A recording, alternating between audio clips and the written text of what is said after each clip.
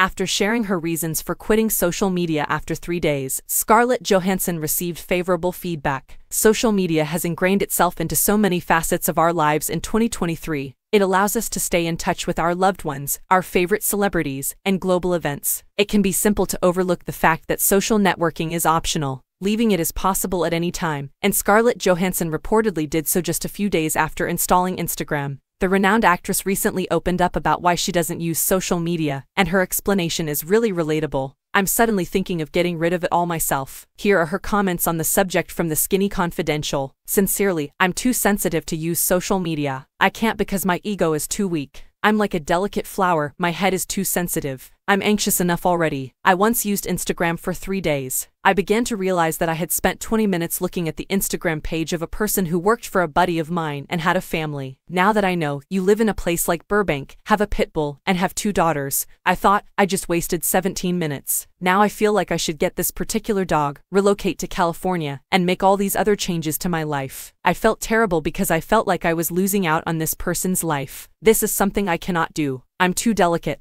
Johansson's remarks truly highlight the drawbacks of social networking, which I think we have all encountered in some way. It offers a glimpse into the well-managed lives of others and can instantly make someone feel extremely FOMO. The Asteroid City actress, on the other hand, decided to keep it out of her life and not waste her time on it because she is more restrained than most of us. Scarlett Johansson, who was born in the 1980s, didn't exactly experience the internet as a child like I did. Perhaps it has made it easier for her to simply stop using all social media platforms. In any case, she raises some excellent points about how a simple glance on one of these apps might waste time in unproductive ways. Having said that, the actress went on to say, It's certainly enjoyable, I mean, every time I see in our office, I immediately transform into a three-year-old playing with their mother's phone and am totally interested in it. I understand I can't have it because of this.